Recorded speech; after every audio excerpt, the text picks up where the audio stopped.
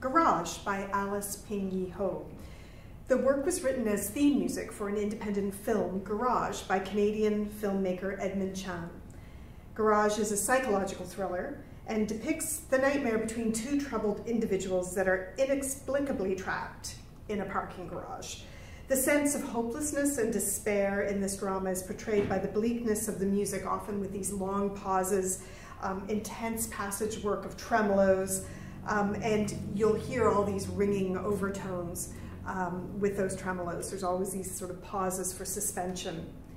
Um, there's lots of changes and shifts in the dynamic register. So you will be seeing a little bit of the film alongside with this performance.